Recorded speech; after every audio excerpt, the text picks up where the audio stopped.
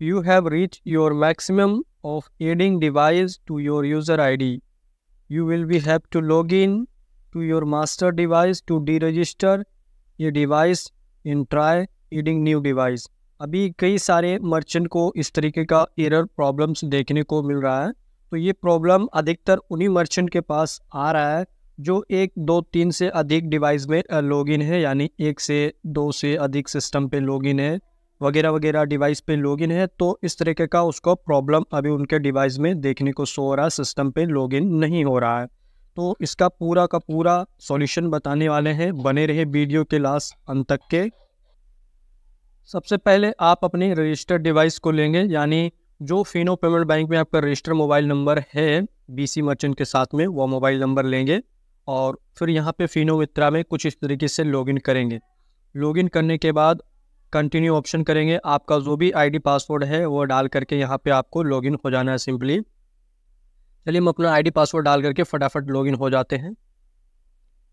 जैसे हम यहाँ पे लॉगिन होंगे तो हमारा जो है सो फिनो का डैशबोर्ड खुलेगा। खुलने से पहले अभी जो है सो नया सिस्टम है ब्लूटूथ भी ऑन माँगता है फिनो मित्रा में, जब भी हम फिनो को ओपन करते हैं तो।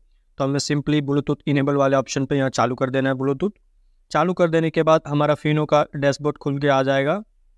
सिंपली हम जो ऊपर लेफ़्ट साइड में कॉर्नर में जो आपको थ्री लाइन दिख रहा है, हमें सिंपली थ्री लाइन पे क्लिक कर लेना है।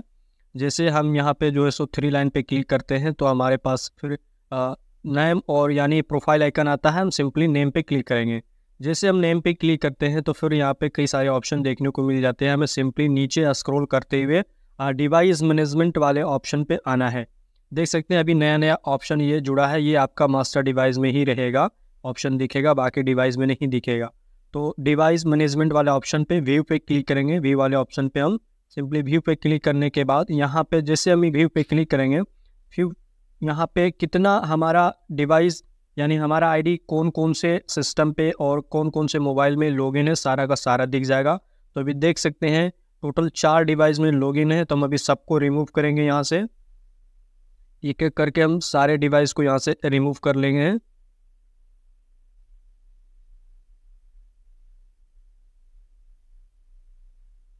अभी हम यहाँ पे पूरा जितना भी डिवाइस था, सारा का सारा रिमूव कर लिए सिर्फ़ एक हमारा मास्टर डिवाइस रियलमी का जो फ़ोन है, उसमें अभी लॉगिन है, ठीक है? उसके बाद सिंपली हम बैक आएँगे और यहाँ से लॉग आउट हो जाएँगे।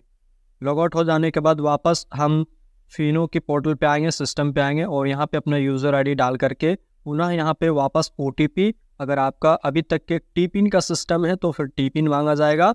टी पिन डाल करके और अगर ओटीपी मांग रहा है तो ओटीपी डाल करके पासवर्ड डालने के बाद आप वापस से यहाँ पे लॉगिन कर सकते हैं। उस, जब आप यहाँ पे लॉगिन करेंगे तो तुरंत आपका जो है सो डैशबोर्ड में लॉगिन हो जाएगा और जो प्रॉब्लम आपको पहले दिख रहा था you have reach limit maximum वो प्रॉब्लम सॉल्यूशन आपको जो है सो ख़त्म हो जाएगा और सिंपली आप यहाँ पे लॉगिन हो जाएँगे आसानी से।